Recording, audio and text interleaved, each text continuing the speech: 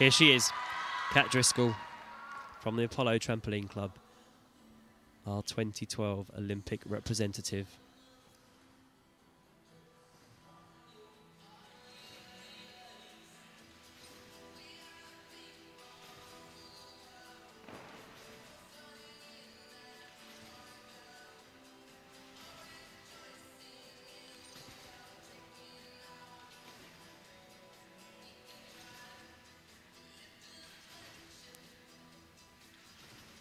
Just trying to find the right bounce to take off from.